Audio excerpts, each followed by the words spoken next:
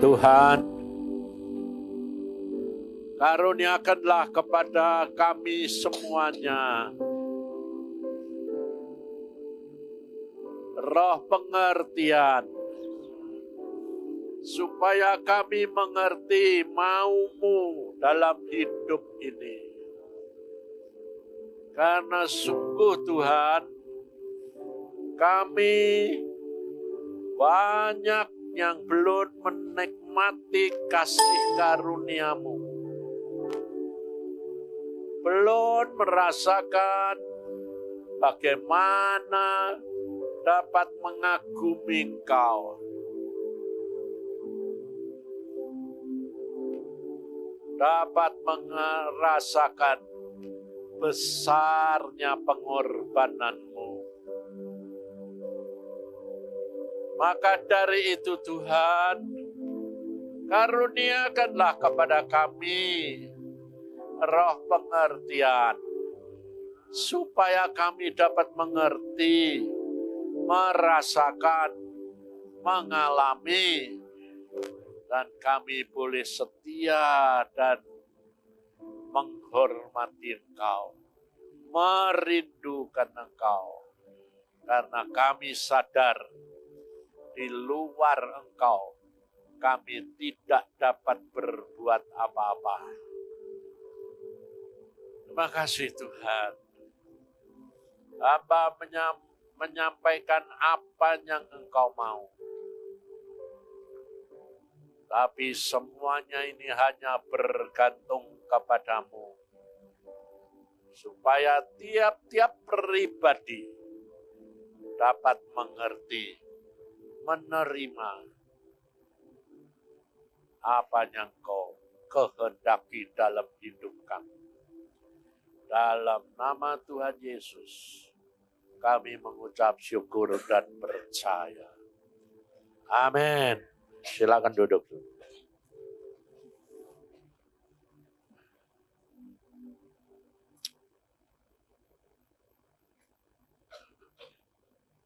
Hari-hari ini, saudara,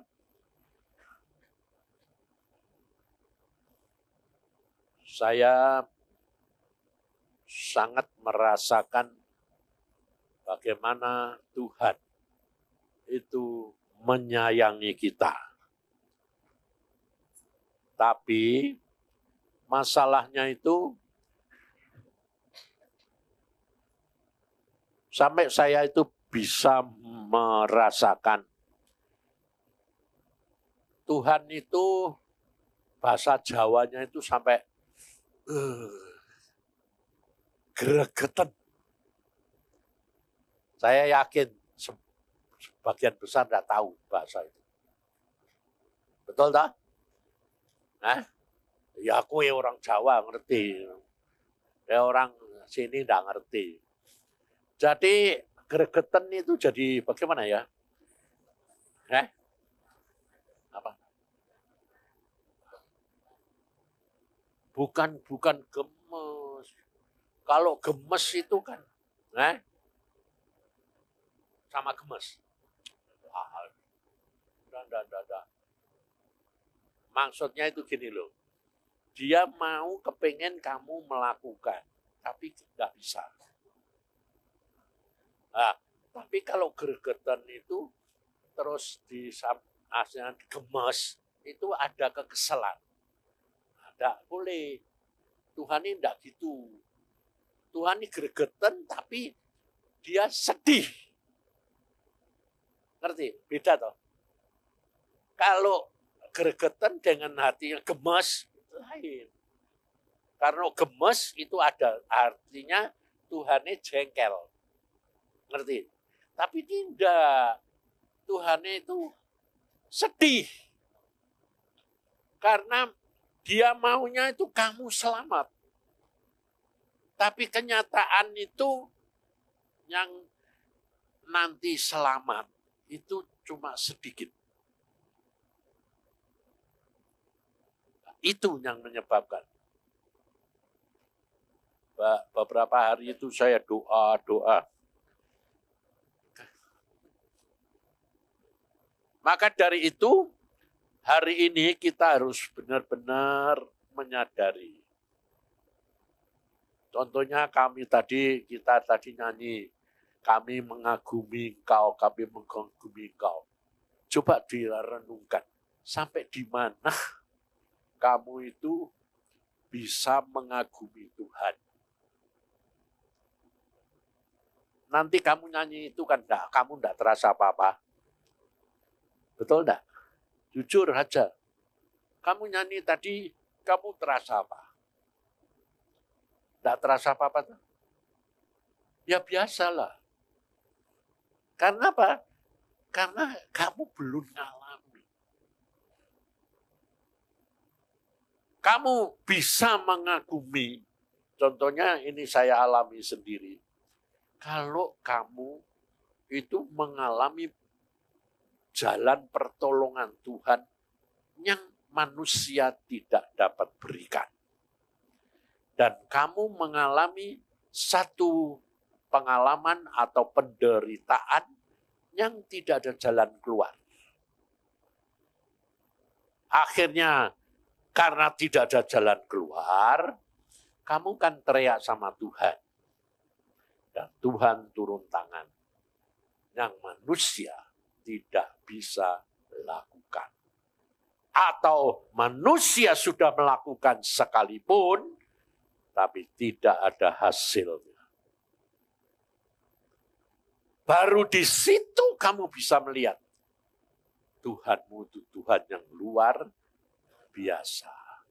Dan kamu bisa mengatakan, aku bersyukur karena punya Tuhan yang luar biasa. Maka Tuhan di dalam firman Tuhan dikatakan ucapkan syukur dalam segala perkara. Mengapa? Karena di situ letaknya apa? Di mana kamu itu benar-benar mengalami Tuhanmu itu luar biasa. Satu. Kedua, kamu baru bisa mengatak, mengalami dan mengatakan, benar oh Tuhan, di luar engkau, aku tidak bisa apa-apa. Ayo, coba berapa dari pada antara kita yang sudah ngalami seperti itu? Saya yakin tidak banyak. Kenapa? Karena kalau kamu mengalami seperti itu, harus mengalami satu peristiwa atau keadaan, mamanya mengenai penyakit, sampai kamu hanya jalannya mati atau Tuhan bertindak. Yang kedua, orang pengusaha sampai habis-habisan, hampir sampai akhirnya terancam mati. Atau nggak anu apa tuh yang lain-lain masih banyak lah. Dan hal seperti itu itu hanya bisa kalau saudara berharap kepada Tuhan. Kalau saudara tidak berharap pada Tuhan, pasti tidak akan ngalami kayak begitu. Kenapa? Karena kita ini terus terang, saudara, adalah turunan orang yang mengasihi diri kita sendiri, dan itu adalah kesombongan. Itu yang, ini yang sulit sekali untuk kita bisa mengerti. Untuk kita bisa mengerti uh, pribadi kita, kita harus belajar dari firman Tuhan, dari banyak mengenal akan Tuhanmu Yesus. Karena berapa hari ini saya merenungkan, saya memikirkan bahwa kedatangan Tuhan itu sudah amat dekat sekali. Dan saya yakin saudara tidak ada satu pun yang kepingin ketinggalan. Betul tidak? Eh? Sekarang saya tanya, kalau kamu tidak kepingin ketinggalan, itu kehendakmu atau kehendak Bapak? Hah?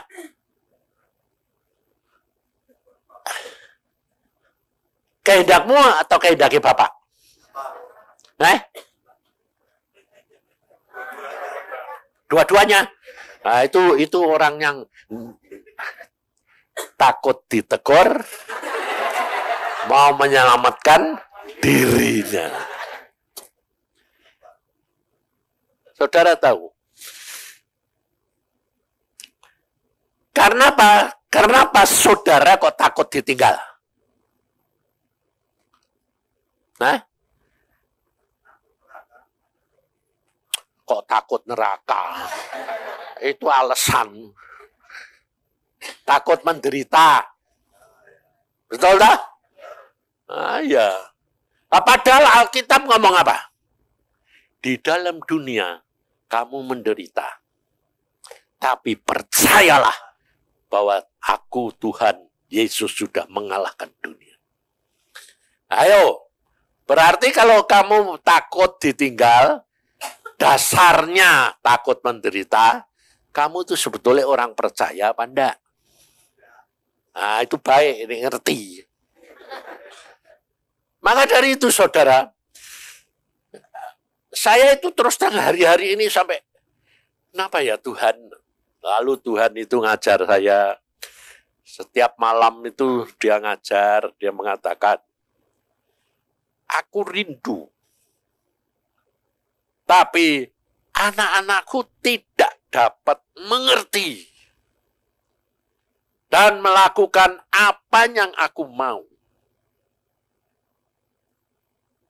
Maka dari itu saudara, saya baru-baru hari-hari ini itu merenung terus. Kita ini membuat bahtera itu dimulai kan 2005. Desember itu baru pertama kali. Ya toh? Dan pada waktu kita kumpul di Holy Stadium itu, gedung Holy Stadium pun belum jadi. Kursinya aja belum ada. Saudara kan tidak tahu. Itu AC pun datangnya itu kurang kira-kira berapa hari. Sebelumnya juga belum ada. Dan duduknya juga di lantai semua. Kursi belum ada. Kursinya itu disumbang setelah kebaktian itu. Jadi disumbangnya itu karena tahu loh kok tidak ada kursi nih. Semua duduk di lantai. Dan kita pun tidak pernah mengumumkan siapa yang terbeban untuk ngasih kursi. Tidak ada, ada? Ada. Bab kalau diumumkan gitu, kira-kira yang terbeban banyak enggak? Banyak, tapi memberinya sedikit. Tapi kalau tidak diumumkan, justru memberinya banyak. Karena Tuhan menggerakkan hati orang yang hatinya ini yang mau melakukan dan nurut kepada Tuhan. Ngerti saudara? Lah, rahasia-rahasia seperti ini pun yang kita itu terus terang belum ngalamin. Karena apa? Karena kalau Tuhan tuh nyuruh menggerakkan hati seseorang, itu selalu di luar kemampuan kita. Itu yang yang susah. Makanya saya diajar Tuhan itu, coba saudara perhatikan apa yang Tuhan ajarkan. Yang pertama apa? Percaya. Yang kedua, gelinding baik. Ya toh? Yang ketiga, paksakan kehendakmu dalam hidupku. Dan yang keempat, ngucap syukur. Ngerti saudara? Dan itu ternyata itu kuncinya semua. Saya sendiri tidak ngerti, saudara. Jangan saudara kira kalau saya itu diajar Tuhan dengan kata-kata itu, itu saya ngerti. Tidak. Saya tidak mengerti, hanya Tuhan bilang, kamu harus begini.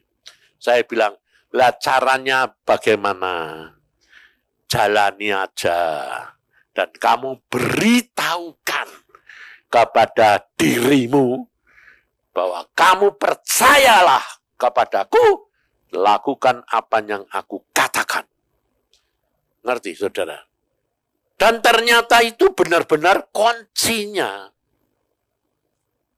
Sampai saya pun pernah mengatakan kepada Tuhan, kenapa kalau baru sekarang, di hari tuaku, sudah hampir selesai.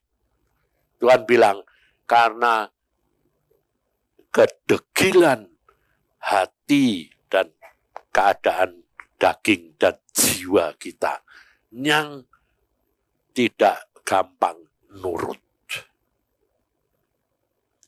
Padahal dari permulaan Tuhan sudah selalu berkata, belajarlah kepadaku karena aku rendah hati dan lemah lembut. Tapi ternyata kan susah tuh rendah hati itu. Rendah hati itu gampang mas susah? Hah?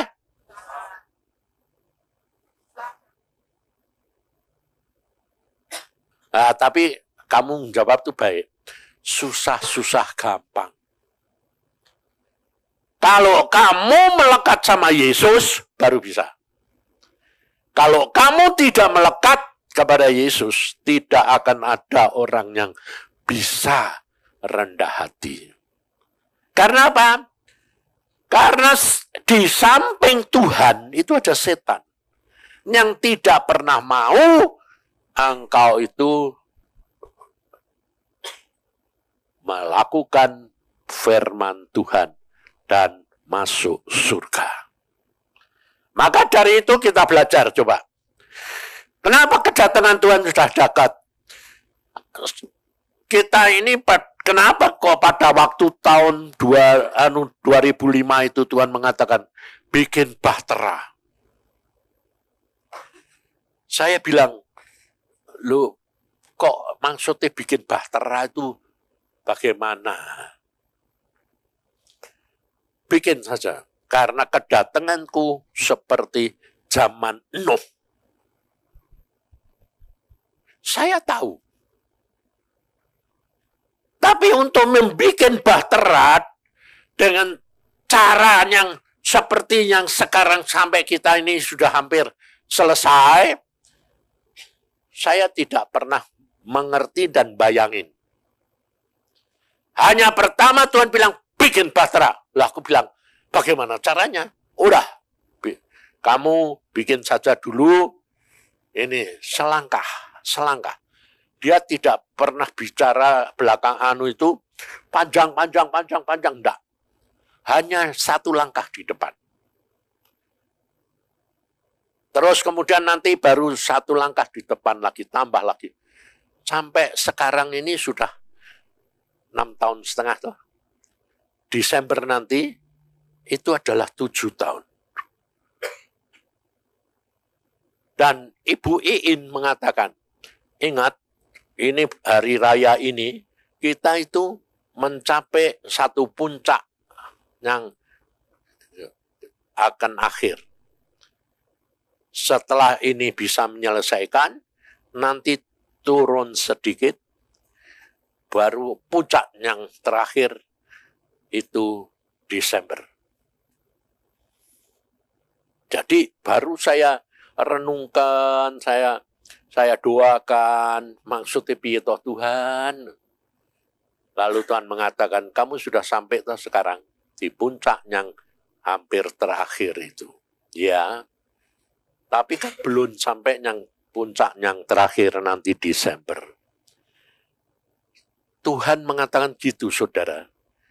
Saya terus terang jujur mengatakan apa?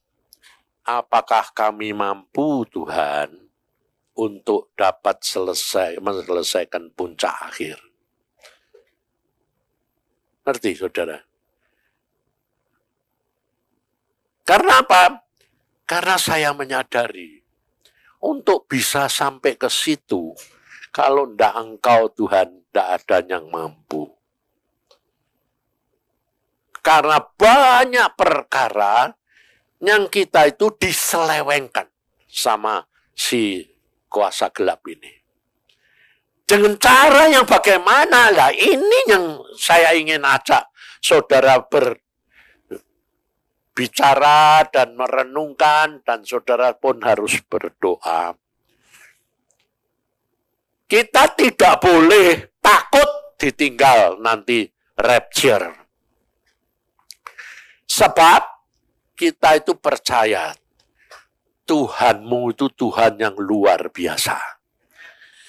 Jadi sebetulnya yang ditinggal itu ada dua kemungkinan. Yang satu ditinggal karena diselewengkan setan dan dia tidak mau berubah dan dia harus membayar keselamatan dan masuk surga melalui jadi martir. Kalau jadi martir, saya katakan berarti saudara harus bayar dengan apa? Mati sahid. Jadi nanti umpamanya yang ditinggal, nah umpamanya terus aniaya mulai datang. Sebab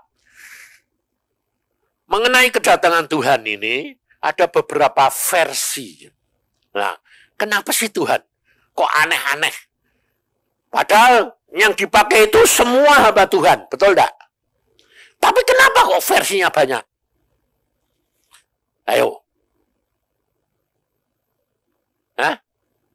Ayo, kenapa kok versinya banyak? Ada yang mengatakan gini, penderitaan dulu, baru nanti Tuhan datang. Ada yang mengatakan Tuhan datang dulu, baru penderitaan. Ada lagi versi yang satu lagi. Tidak usah penderitaan, mau kita sudah bayar hari demi hari. Ada.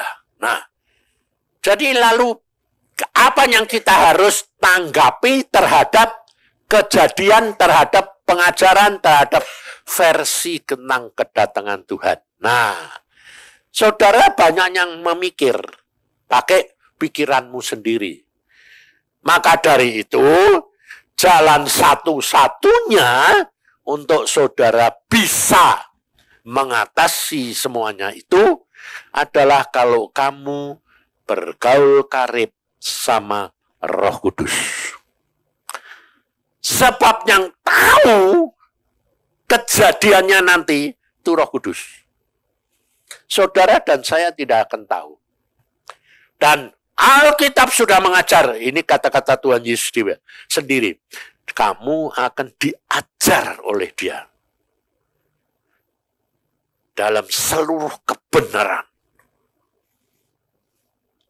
Jadi kalau saudara terfokus kepada pelajaran atau kata-kata hamba-hamba Tuhan itu, saudara akan terjebak. Karena apa? Pikiranmu yang menguasai, bukan iman dan percaya. Ngerti enggak? Ngerti? Jelas?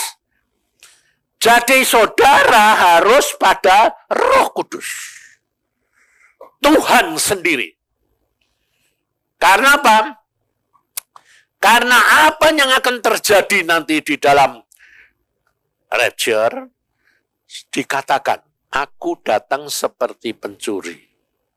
Atau kedua, tidak ada yang tahu. Malaikat pun tidak tahu, hamba manusia tidak tahu, bahkan Yesus Tuhan sendiri pun belum tahu. Bukan tidak tahu, belum tahu. Nah, belakangan ini ada satu pernyataan daripada Tuhan terhadap orang-orang Makanya kita kalau dapat pernyataan-pernyataan itu jangan anggap sepele. Sebab kita kerap kali kalau ada hamba Tuhan yang ngomong, siapa yang kita senang, kamu percaya. Beda loh hamba Tuhan itu sudah disiarkan, oh itu sesat, banyak yang aneh-aneh, kamu percaya pada?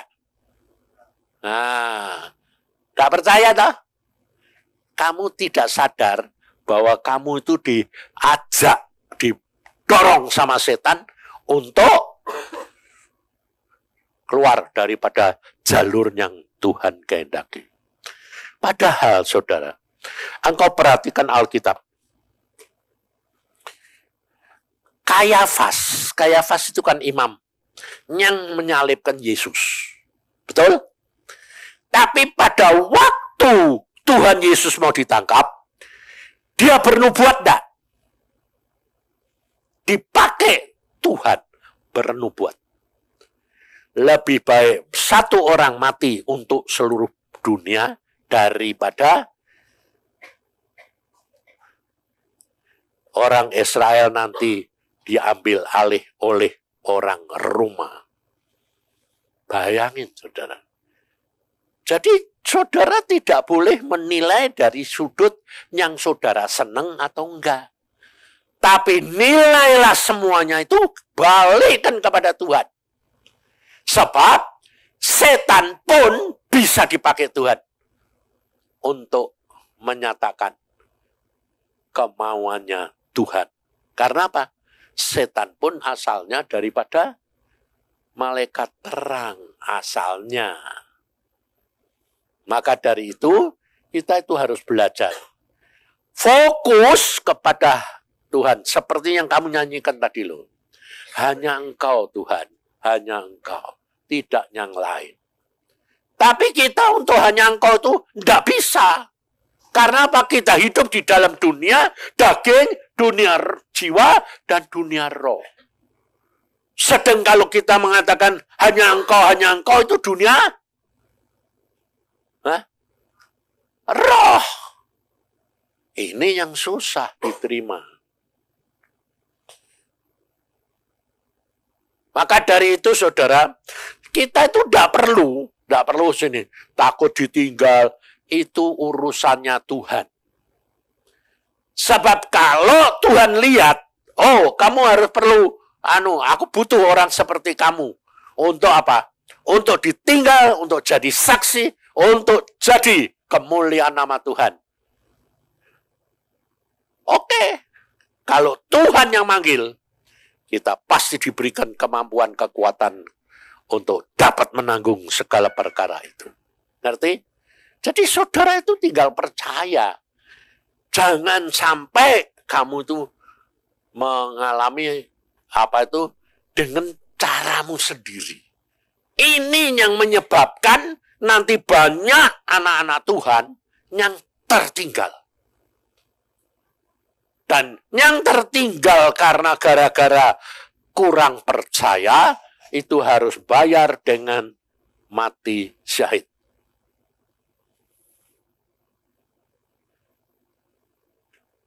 Kalau kamu tertinggal karena kehendak Bapak, kehendak Tuhan Yesus, tidak masalah.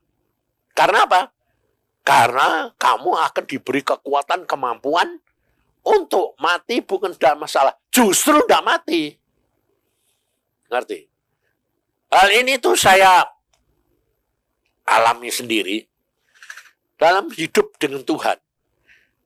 Tuhan mengatakan, kalau kamu sayang nyawa, kamu akan oh pinter loh gue itu sebetulnya. Sebetulnya gue ya wis ngerti tuh ya. Kalau kamu sayang nyawa, kamu bakal tapi kenyataannya bisa ndak? Ndak sayang nyawa. Hah? Iki anu si anu ini susah-susah gampang. Tidak bisa kalau tidak dikaruniai Tuhan. Ngerti saudara? Semuanya itu makanya sampai akhirnya. Tuhan, saya tuh saya berapa hari ini mengatakan, aku itu tidak bisa hidup di luar engkau. Kalau aku hidup di luar engkau, selalu salah jalan. Karena pikiran kita selalu cari jalan sendiri. Dan jalan kita itu selalu apa? Mengasihi diri sendiri. Jadi itu sayang nyawa apa? Tidak sayang. Kita tidak sadar loh. Bahwa apa yang saudara selama ini lakukan itu adalah sayang nyawa. Takut ditinggal. Betul? Itu sayang nyawa. Jadi kita itu kerap kali tidak bisa ngerti ya. Sampai saya itu terus terang jujur sampai melihat Tuhan itu, aduh, ini anak-anak kasih, kasih sayang. Sehingga nanti kalau ada rapture, itu banyak yang ketinggalan. Lalu Tuhan mengatakan, ingatkan, ingatkan. Aku bilang, aku sudah ingatkan, tapi tidak bakal bisa masuk kalau tidak engkau sendiri yang turun tangan. Saya bilang. Karena apa? Ini bukan hal yang gampang. Karena orang itu mengasihi diri sendiri. Betul. Itu. Maka dari itu saudara kita harus ingat-ingat. Sebab apa? Sebab di dalam masa-masa seperti sekarang ini. Terus terang jujur. Cobaan atau tipuan atau anu dorongan dari setan itu sangat-sangat menyesatkan yang kita tidak sadar. Ini contohnya saja. Kita sendiri hamba-hamba Tuhan ini. Di dalam situasi seperti ini, malah Tuhan menyuruh Agung bikin rumah sakit, bikin rumah apa, yang biayanya itu sampai hampir triliun. Itu kalau saya pikir, halo Tuhan, engkau sebentar lagi datang. Mau suruh bikin kayak gini buat apa? Betul enggak? Hah? Demikian juga anak-anak, anak-anak sekolah. BP sendiri kerap kali ngomong, aku Beb, Beb, kamu sekolah yang sungguhan. Buat apa kong? Tuhan mau datang? Waduh, aku bilang, oh ini kelihatannya kan sederhana, tapi itu memang pikiran kita semua.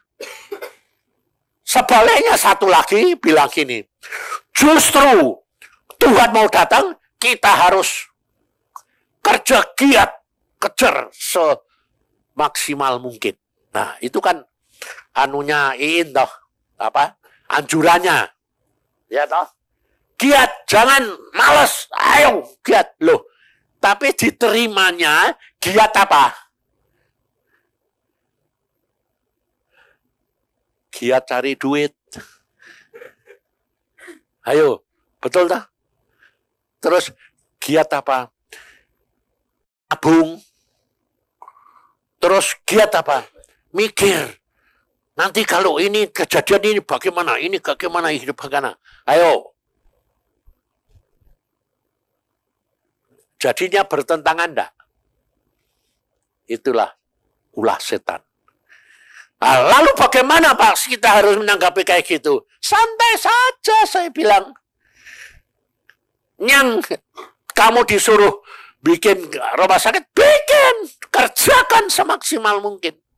Karena firman Tuhan berkata, kalau aku nanti datang, ada yang sedang bekerja. Oh, jadi yang kerja ya kerjalah. Tapi yang tidak boleh apa? Terlalu fokus kepada itu sehingga kita tidak tertuju kepada Tuhan. Gampang mas susah? Nah, susah itu. Sebab kalau gampang itu bukan menuju surga. Menuju neraka itu gampang. Makanya rombongan ke neraka itu ada jutaan, tapi yang masuk surga cuma orang tertentu. Makanya orang yang tiap hari masuk ke jalan ke neraka itu jutaan. Jangan saudara kira itu setiap hari itu di dunia ini yang mati. Itu jutaan. Setiap hari. Tapi yang masuk surga cuma sekedar ratusan. Bayangin berapa kecilnya. Maka dari itu, Bapak ini, Allah Bapak kita, itu sedang melihat. Sebab dia sebetulnya tidak menginginkan orang binasa. Tapi lihat begitu bingung dia. Jangan mau kira Tuhan itu tidak bingung loh. Tuhan tidak bisa bingung. Ya, karena dia maha kuasa, dia tidak bingung. Tapi bingungnya gini, kalau ditunda, yang mati berapa juta. Kalau dipercepat, yang berapa yang masuk surga. Ini masalahnya, bingung dia. Makanya sampai sekarang belum menetapkan. Tetapi Alkitab berkata, ini kata-kata Tuhan Yesus, kalau tidak dipersingkat, tidak ada orang yang selamat. Nah, jadi bingung enggak? Mau dipercepat. Ini anak-anaknya yang jadi Kristen belum bisa karena tertipu. Kalau tidak dipercepat, tidak ada sing selamat. Jadi bingung enggak? Maka dari itu saudara, tidak ada jalan lain. Kalau engkau tidak mengerti dan kamu kembali. Dengan kamu mendahulukan Tuhan, maka semua masalahmu selesai dengan sendirinya. Itu Tuhan. Itu cara Tuhan. Tidak bisa masuk akal. Karena jalan Tuhan itu bukan jalan kita. Saya ngalami sendiri. Kenapa saya ini sebetulnya minta sama Tuhan dan beracara dengan Tuhan. Umur 60 selesai. Dan saya sudah menyelesaikan semua. Tapi Tuhan mengatakan, aku masih punya acara. Apa? Aku mau pakai kamu. Aku bilang, Tuhan, aku ya toh tidak bisa apa-apa. Tapi Tuhan malah nyatakan bilang, aku cari orang, belum ada yang model kayak kamu. Aku bilang, modelnya apa? Nekatmu itu loh. Beranimu nyerah kepadaku. Itu yang menyebabkan aku mencari orang. Ditunda 10 persen, 66. 66 selesai, tunda lagi. Aku mau mencapai engkau umur raja-raja. Padahal sebetulnya saya itu punya jatah sampai ke umur raja-raja enggak. Karena apa? Karena fisik saya sekalipun tidak menunjang. Makanya saya kena serangan jantung empat kali. Jangan kira saya kena serangan jantung itu sekali dua kali. Dan saya bisa cerita kena serangan jantung pertama bagaimana, kedua bagaimana, ketiga pasti out. Makanya teman saya di Semarang begini. Teman baik ini. Hamba Tuhan lagi. Wah, aku kena serangan jantung pertama. Oh, terus baik, baik, bisa tertolong. Nah, Aku bilang, kamu hati-hati. Sebab kena jarangan jantung yang kedua masih bisa tertolong. Tapi serangan jantung ketiga tidak ada jalan. Mesti out, mati. Jadi tidak bisa hidup. Oh, kalau Tuhan yang mau bisa. Kalau Tuhan tidak mau, tidak bisa. Itu karena hukum alam. Dan medis memang begitu. Dan saya mengalami, benar. Dia kena serangan jantung yang kedua, sudah mulai lumpuh. Aku bilang, ingat, kena serangan jantung ketiga, out. Dia bilang, ya jangan gitu dong, Pi, bagaimana? Tidak ada jalan lain kecuali mengucap syukur. Kalau out itu sudah untung. Loh, kenapa out malah untung? Karena Tuhan tahu kamu tidak akan sanggup. Jadi lebih baik mati sekarang daripada nanti. Ah, akhirnya mati juga. Karena apa? Ya bagaimanapun juga, karena dia orang ada, ya berusaha cari jalan. Pakai dokter, pakai apa, jantungnya diapa-apain. Tetap mati juga. Saya ya mati, jangan dikira saya tidak mati kalau serangan ketiga. Mati. Saya pun mati. Makanya saya bilang, mati nanti ketemu Tuhan. Nah, kalau Tuhan mengatakan kamu harus balik, baru kita dibarui baru. Saya juga pada waktu itu ketemu Tuhan, Tuhan bilang gini, aku mau kue balik. Aku bilang, aku kepengen pulang. Tuhan bilang, aku masih punya rencana dalam hidupmu. Aku mau pakai. Jantungku berhenti. Ya itu hukum alam itu biasa lah, Tuhan bilang. Loh, aku menilai ya buat apa? Sudah berhenti ya, sudahlah. Aku bilang itu, nggak bisa, oh, aku mau. Aku menilai, terus bagaimana? Nah, kamu lihat, cuma dilempar satu sinar tek, masuk ke jantung meledak. Saya lihat tuh, loh, meledak jantungnya. Tak pikir dek meledak malah ambiar toh ya. Ngomong kayak di bom. Belum. Kok malah sempurna. Lalu duk, duk, duk, duk. Loh, lalu bilang, aku bilang, loh kok hidup tuan? Iya karena aku mau. Udah sana masuk lagi. Aku mau pengen pulang. Udah masuk. Masuk. Dilempar toh. Plung. Masuk. Ah, bangun. Ngerti? Saya ngalami semua. Kalau kamu tidak sayang nyawa, justru dapat nyawa. Lah untuk tidak sayang nyawa itu susah. Karena apa? Kita masih hidup di dunia. Itu sama aja toh. Untuk tidak sayang duit susah. Untuk tidak anu apa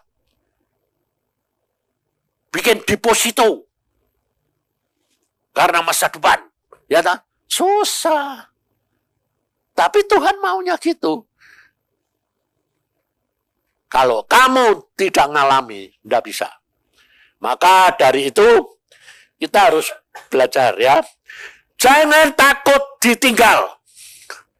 Jangan takut untuk pulang lebih dulu.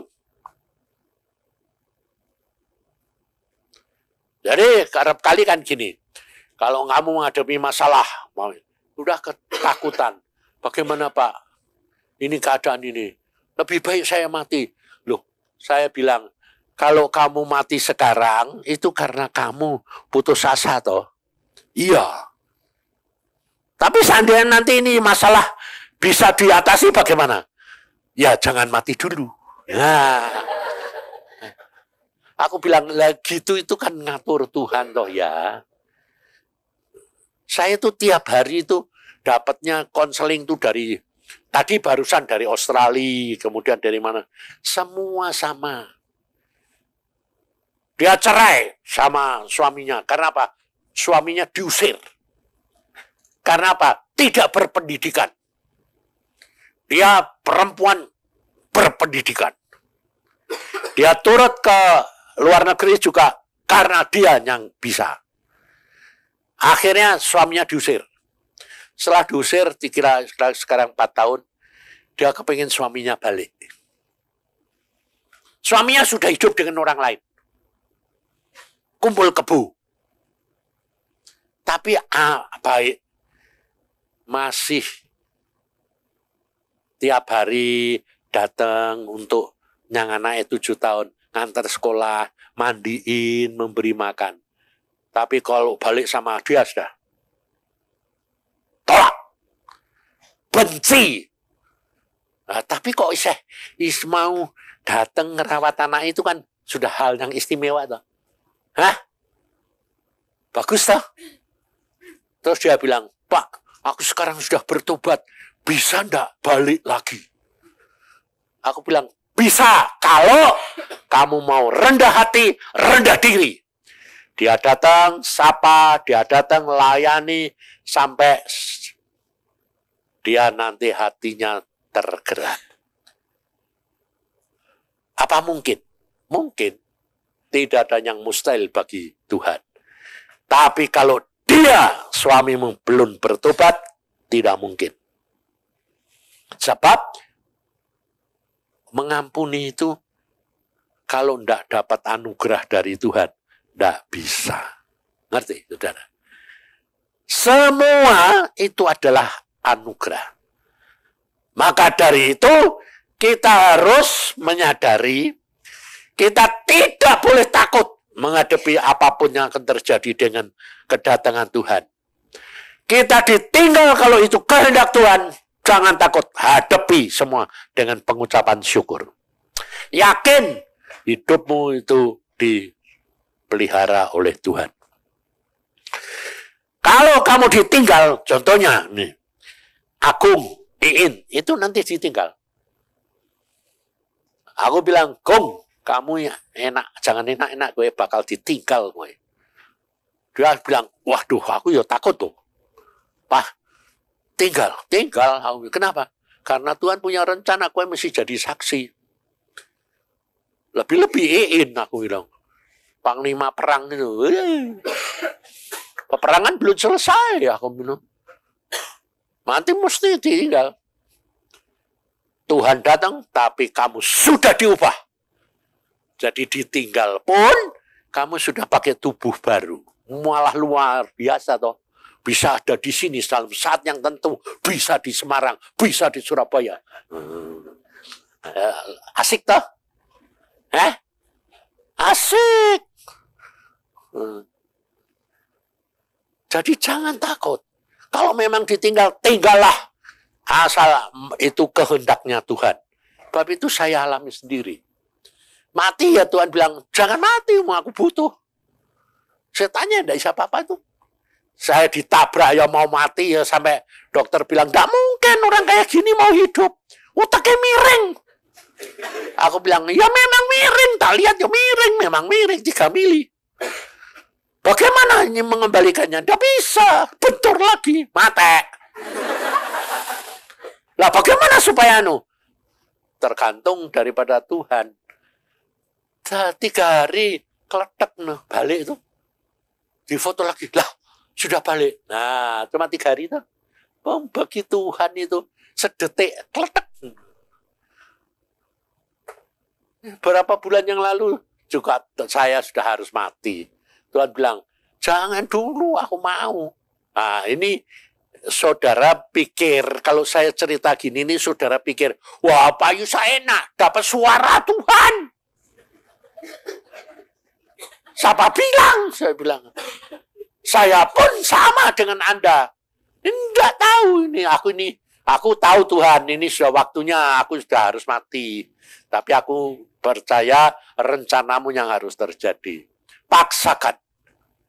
Sebab ada masa-masa di mana saudara itu di dalam percaya kepada Tuhan, gelinding, ada masa di mana seolah-olah Tuhan tidak bertindak. Diam. Masa seperti itulah yang menetapkan. Di mana kamu berkata, paksakan kehendakmu. Aku percaya apa pun baik itu percaya. Tapi kalau engkau mengatakan, aku sih gini Tuhan, aku mesti punya gini. Ah, malah mati lah. Sebab kamu tidak menurut Tuhan, tapi menurut hidup pikiranmu sendiri. Nah, itu yang Tuhan tidak mau. Maka dari itu, percaya, gelinding, kemudian paksakan, itu ada periodenya. Masa Nah, itu harus kita lalui. Tidak bisa lalu bilang, ya jangan tolong aku udah kuat Tuhan. Tidak bisa. Malah kamu mengatakan aku udah kuat, malah ditunda. Suruh tambah lama. Tapi kalau kamu mengucap syukur, punya pikiran seperti yang saya alami, tambah cepat, tambah baik. Makanya kalau ada orang konseling, Pak, saya ini kena kanker. Terus, menurut dokter, berapa bulan? Enam bulan. Ya cuma enam bulan lumayan toh. Bayangin saudara. Makanya banyak orang takut sama konseling. Nah, Pak Yusa itu bahasanya itu bahasanya Yusuporni apa? Vulgar. Aku bilang vulgar itu apa toh? Vulgar itu kan orang kasar, terus belak-belakan, dia toh. Ah, memang aku orangnya gitu. Aku bisa apa ya? Ya jujur. Itu tanya, bagaimana Pak saya? Kamu tinggal pilih, uang cuma enam bulan ya lumayan lah aku minum. Kamu tinggal pilih, mau rawat dokter di chemo atau nikmati di dunia. Kalau nikmati bagaimana Pak? Ya makan apa aja. Di, surga rano babi. Loh gini babi. Wis lumayan toh. Kowe kondo surga ya rano babi ya. Buat apa wis ta? Makan aja. Di sini gue seneng babi, makanlah. Kambing. Apa? Makan aja. Lo tapi kan kolesterol apa-apa. Do surga rano kolesterol. Wis ngapain lah. Jadi malah cepat malah baik. Lah ini nurut, ini berani karena dia apa? Dipikir-pikir ya memang benar. Tahu Europe cuma tuh enam bulan. Ngapain susah-susah? Di chemo, rambutnya brodol, lalu perempuan lagi. Ya toh? Nanti makan susah. Karena habis kalau habis di itu ada nek dan apa dan susah. Ini nurut dia bilang, oh ya gitu ya Pak. Ah. Lah terus hari-hari ngapain? Baca Alkitab, ngucap syukur, pergi persekutuan. Wes dengeri firman. Enam bulan ya lumayan dah itu. Nikmati aja sing gue seneng. Pergi. Nikmati. Dinikmati. Dalam waktu dua bulan naik lima kilo. Wah ini laki ini lumayan ya perempuan lagi. Lima kilo. Laku kok jadi gedut pak? Dan, dan, tak cuma gitu. Ini tangan sudah mulai lumpuh. Dia tanya, Pak, kok tanganku sudah mulai tidak bisa digerakin? Loh, itu tandanya kankernya sudah jalar. Loh, betul enggak? Eh? Loh, apa yang saya katakan ini benar enggak? Ya toh. Ya memang yang jalar toh. Nah, kalau jalar, itu nanti kalau sudah sampai ke otak, game. Jadi lu cepet toh aku minum. Mungkin nggak usah sampai enam bulan. Kan lumayan aku minum daripada uh, menderita. Harus gitu ya Pak? Iya. Udahlah, kamu bilang enam bulan lah. Selesai. Tapi aku mau menikmati. Wah, setelah dia bilang, lah terus aku harus ngapain? Ya ucap syukur. Tidak bisa digerakkan. Ya terima kasih Tuhan. Jadi tambah cepat. Jangan ngomong. Dalam namanya. Bok usaha bok. Tengkingi. Bok anu deh ngapain. Nurut dia. Oh gitu. Jadi saya. Ya terus ya. Empat bulan. Dia bilang. Nah sekarang sudah tambah ini Pak. Kanan kiri. Ah, malah benar, tapi cepat. Wes lebih cepat, cepat ucap syukur. Bulan kelima, loh kok pak, kok malah hilang semua. Eh wes, Tuhan mau berarti ku hidup. Hidup. Nyatanya sampai sekarang masih hidup. Sudah 15 tahun lebih. Aku bilang, loh kok kok bisa hidup? Iya anugerah. Eh sudah ngucap syukur aja. Berarti Tuhan masih punya maksud. Hidup tuh. Nah, kemarin dulu di dari mana itu? Oh, Medan. Pak, saudaraku ini sudah kanker otak. Dokter bilang hanya beberapa hari. Ah, wes toh ngomongi. Ampuni, jangan ribut. Ngucap syukur. Terus, eh, tiga hari Bangun. Bangun, Pak. Sehat. Dokter sampai bingung. Lu kok malah sehat? Terus aku bilang, sehat bukan berarti sembuh. Tuhan punya maksud. Cepat suruh beres-beres. Terus dia bilang, ternyata ini anu pak, suaminya bilang, tidak mau aku suami istriku sembuh. Kenapa? Diasuransikan. Jadi kalau mati, dia dapat asuransi gede. Kurang ajar enggak? Ayo kowe? Siapa yang pernah kita tahu kalau dalam hatinya ada pikiran itu? Ngerti? Makanya sudah jangan terlalu sayang. Tapi sayang Yesus semuanya bisa diubah. Terus kemudian laporan lagi. Nah, terus bagaimana? Ayah jadi saya bilang sama adik saya perempuan, bagaimana kamu nih? Lah suamiku mau nih itu, ya sudahlah, biar aku tidak sembuh. Mati aja. Tapi kamu mati itu mau masuk neraka apa masuk surga? Jadi kalau kamu mau ninggalin harta sama suamimu silakan supaya dia nanti bisa kawin lagi. Kamu mati oke, okay, tapi kamu jangan bodoh. Ninggali masuk neraka, betul dah. Yang penting kamu masuk surga. Nah, jadinya bagaimana? Teratau saya. Oh, udah, saya tugas saya cuma sampai masjid itu, saya tidak mau mikir banyak. Karena apa? Karena semuanya itu tergantung dan terletak kepada maunya Tuhan. Ngerti saudara? Hidup ini, itu sudah saudara itu jangan takut, jangan khawatir. Tapi fokus kepada Yesus. Tiap hari kamu harus mengatakan, apa Tuhan yang aku harus lakukan hari ini? Sebab kamu tidak tahu kapan Tuhan datang. Karena saya ini merasakan sendiri. Ini nanti Desember itu Bahtera itu tujuh tahun. Saya merasakan begini. Saya barusan ngomong sama AL tadi.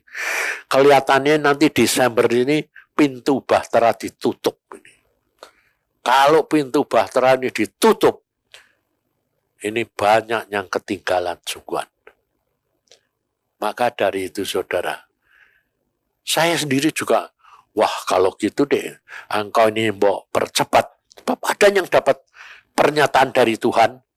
Sekarang ini malaikatnya sudah berjejer dengan sangkakala. Siap untuk meniup sangkakala, Tuhan Yesus datang.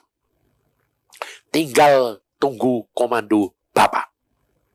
Saya teringat pada waktu dokter Hendrawan itu kena kanker, dia pergi ke Jerman. Terus kemudian kankernya itu sama dokter Jerman dicariin tiga bulan. Tidak ketemu. Dikatakan gini, tidak ada. Tapi lucunya apa? Si dokternya sendiri berkata, aku merasa ada. Bingung nggak? Karena dia dokter spesialis penyakit kelamin dan dalam. Dan waktu dia ngomong gitu, diperiksa lagi, cari lagi, ketemu. Ada di dalam hati. Terbungkus oleh lemak. Sehingga sewaktu-waktu keluar, sewaktu tidak. Nah, kemudian sama spesialis sana dipotong sepertiga. Dipotong sepertiga, dokternya bilang gini, udah aman. Paling enggak minimal 3-4 tahun lagi dicek lagi.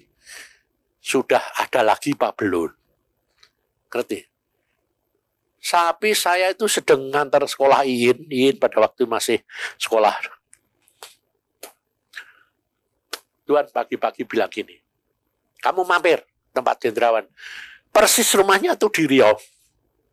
Saya mampir, Suruh apa Tuhan? Beritahukan. Ya. Jadi tidak ngasih tahu ini, ini, ini, ini. Tidak. Ya cuma mampir. Ngapain? Beritahukan. Ya. Sampai sana duduk saya bilang, saya bilang, ketok. Aku mau ketemu sama Indrawan. Oh ya, itu Bapak Indrawan duduk di sana.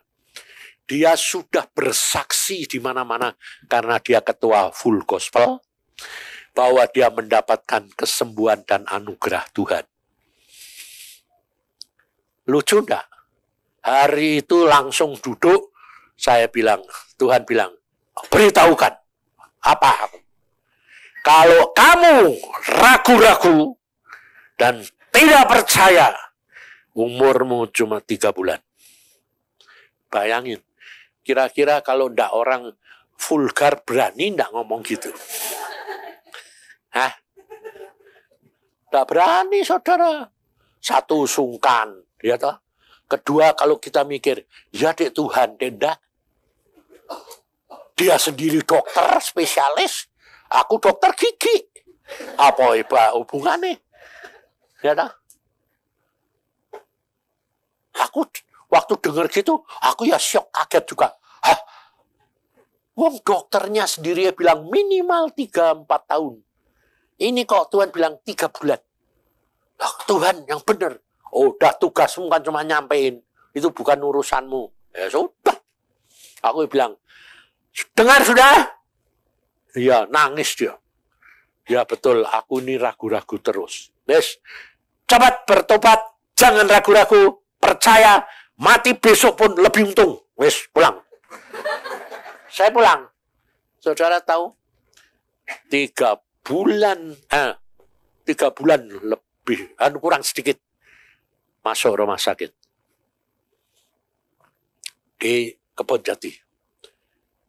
Sudah jeblos, kankernya sudah keluar dari perut. Saudara tahu, belum tiga bulan dan jeblos. Terus kemudian saya pergi ke Mesong, tempat Ahim. Saya ketemu besan saya, mamai siapa? Ael. Eh kok mamai? Mai. Mamai udah ada mamai pada waktu saya hidup kok. Terus dia bilang, Pak Yusa, yuk pergi ke kebun jati. Ngapain? Doa buat Hendrawan. Saya bilang, nggak mau. Kira-kira besan saya marah apa enggak? Marah. Ini hamba Tuhan diajak doa kok enggak mau.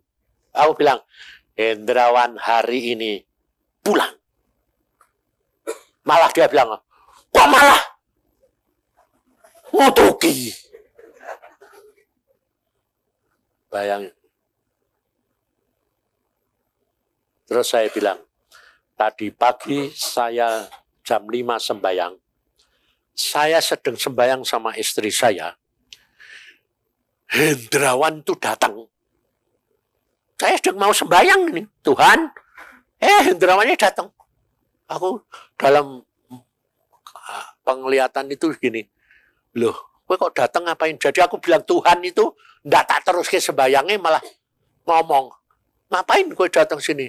Aku hari ini pulang, Yusa. Kenapa? Sudah, Tuhan bilang waktunya sudah habis, kamu harus pulang. Eh sudah, sama jalan sampai di surga, ketemu. Saya ngomongnya gitu.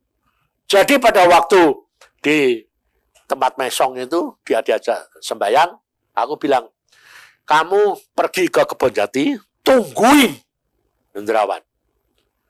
Hari ini dia pulang. Ngomel dia, ngomel. Dia kan orang GKI. Sudah percaya model gitu-gitu. Terus dia ke Kebon Jati, setengah sebelas malam. Saya sudah tidur. Saya kalau tidur kan jam sembilan, jam delapan kadang-kadang. Setengah sebelas saya di bel. Dia bilang apa? Pak, wah, saya lihat Pak. Lihat apa? Malaikat berjejer. Bawa terompet. Terus, Tuhan Yesus datang. Terus, Tuhan berkata, tiup, tiup, retetetetetet, sos teriak-teriak, Hendrawan pulang, menghembuskan napas. Saudara tahu? Dan saya ingat ada pernyataan Tuhan. Surga ini sudah siap. Malaikat-malaikat sudah berjejer membawa terompet. Tinggal tunggu komando. Tuhan segera datang.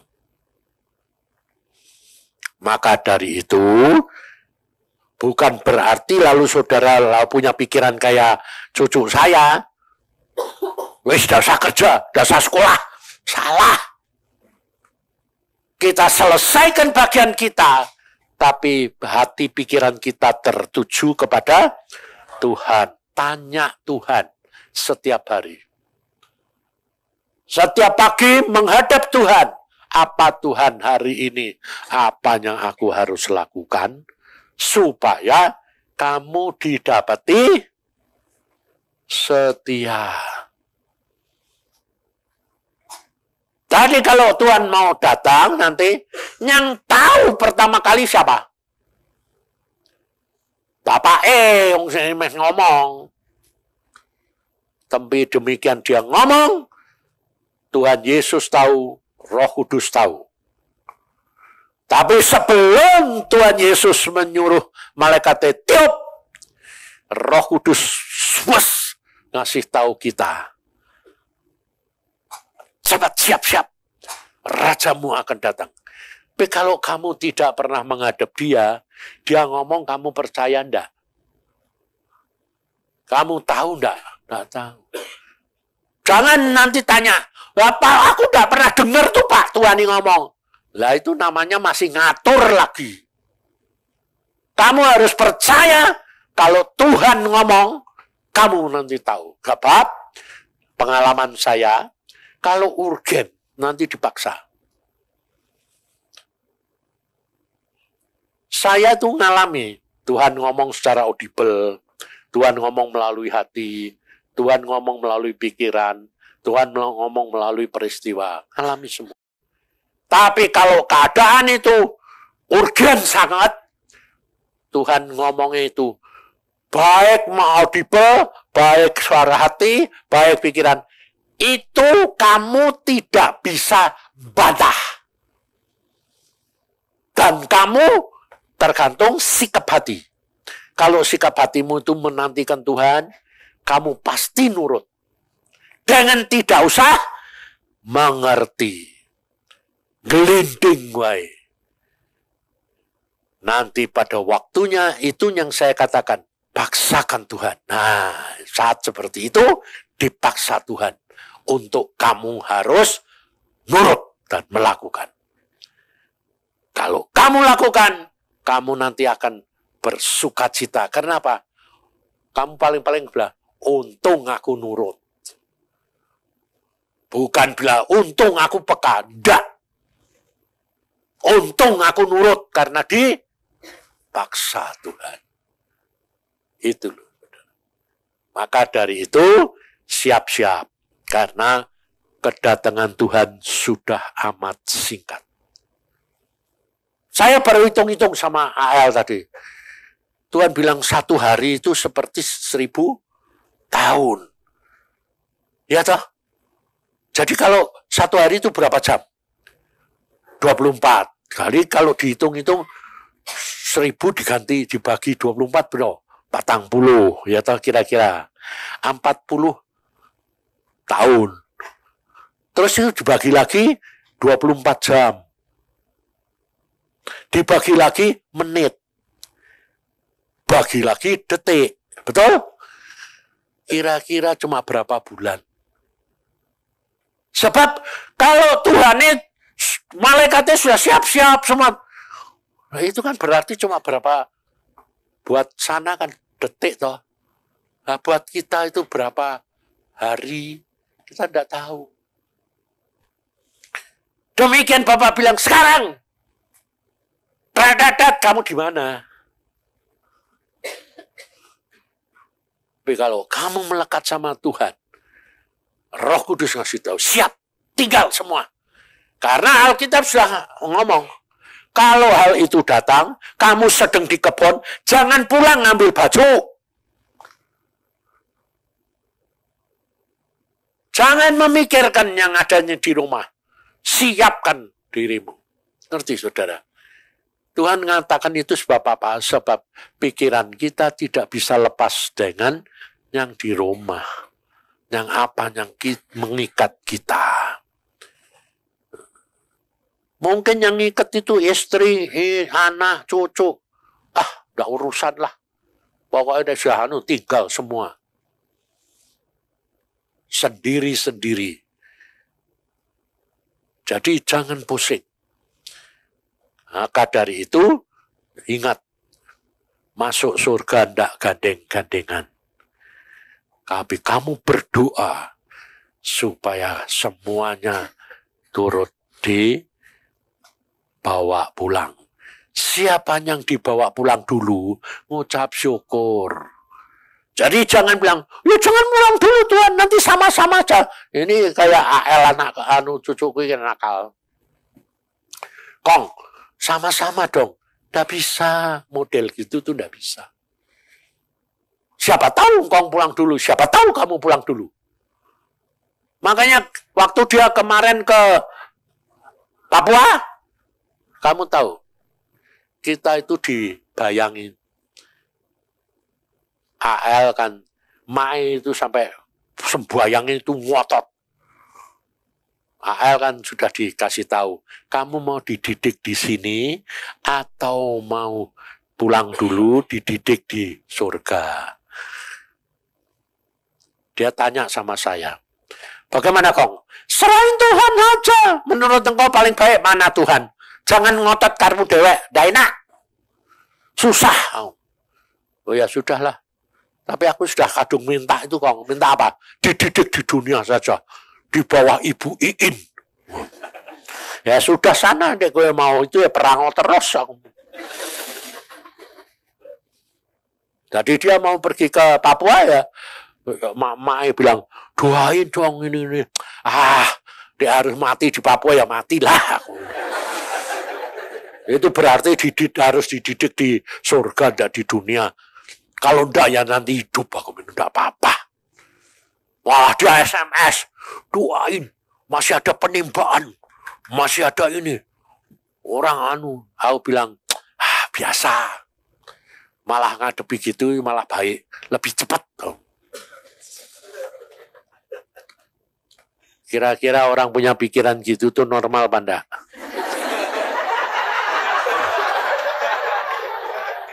Saya yakin saudara bilang saya tidak normal, betul? berarti kamu normal. Tapi kalau kamu normal, malah tidak normal di hadapan Tuhan. Karena orang kurang per tidak. Ngerti tidak saudara? Itu Tuhan. Ya, udah saya harap engkau sadar. Dan jangan terlambat. Kalau kamu terlambat, harus membayar harga yang amat mahal. Ngocap syukur dalam segala perkara.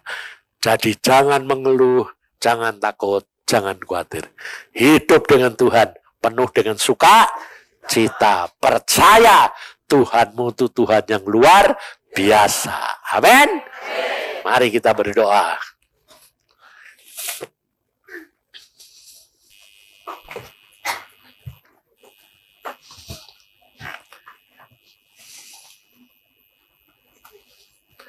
Oh ya, saya mau bacakan satu ayat sampai.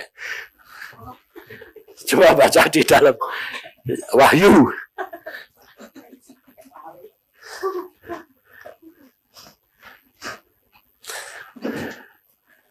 Dalam Wahyu Haleluya.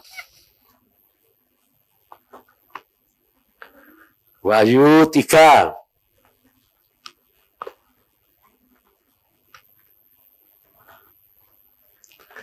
Wahyu paling gampang tuh ya. Kitab akhir Wahyu 3 Wahyu 3 ya. Jadi saudara perhatikan ini ayat ini. Bangunlah dan kuat ayat 2 judul. Bangunlah dan kuatkanlah apa yang masih tinggal, yang sudah hampir mati. Sebab tidak satu pun dari pekerjaanmu aku dapati sempurna di hadapan Allahku. Karena itu ingatlah bagaimana engkau telah menerima dan mendengarkannya. Turutilah itu dan bertobatlah. Karena jikalau engkau tidak berjaga-jaga, aku akan datang seperti pencuri, dan engkau tidak tahu pada waktu manakah aku tiba-tiba datang kepadaku. Ya, nah terus kemudian disambung ayat yang ke tujuh, delapan. Aku tahu segala pekerjaanmu. Lihatlah aku telah membuka pintu bagimu yang tidak dapat ditutup oleh seorang pun. Aku tahu bahwa kekuatanmu tidak seberapa. Namun engkau menuruti firmanku dan engkau tidak menyangkal namaku. Ngerti saudara? Jadi kita sadar kita tidak mempunyai kemampuan, tapi di hadapan Tuhan sudah dilihat bahwa kita tidak ada yang mampu. Tapi ucapkan syukur. Jangan lihat orang lain. Orang lain punya karunia, punya kekuatan kemampuan. Oke, doakan supaya dia pun dapat menyelesaikan bagiannya. Karena sampai ada waktunya nanti, Tuhan sampai berkata di dalam Matius 21, Orang menginjil dalam namaku, orang membuat mujizat dalam namaku, tapi Yesus berkata, aku tidak kenal kamu. Bayangin, mengerikan.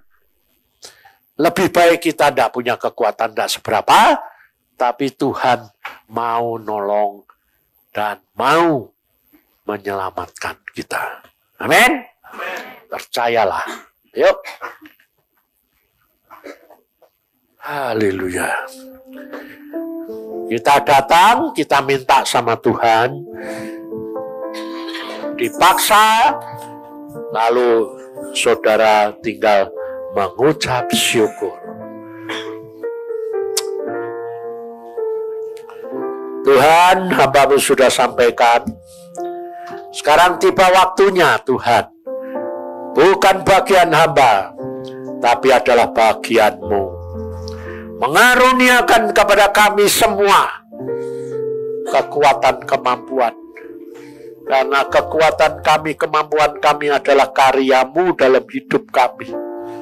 Hanya engkau Tuhan yang bisa menyelamatkan kami.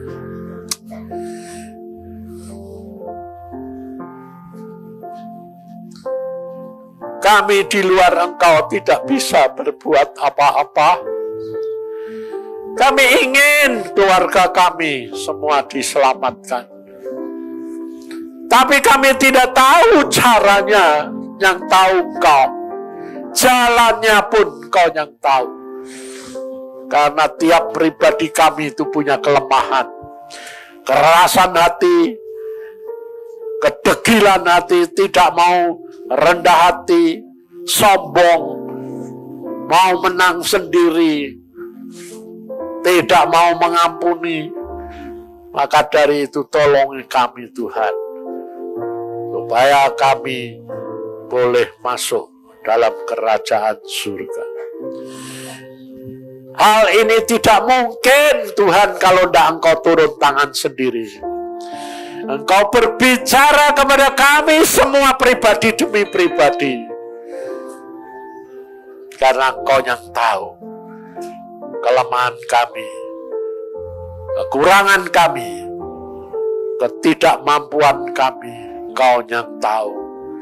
Hanya engkau. Hanya engkau Yesus. Kiakarata syakata. Kasihani Tuhan.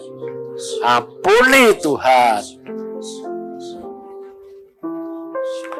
Karena kami masih punya keinginan ikatan dengan dunia ini. Ampuni, ampuni, ampuni.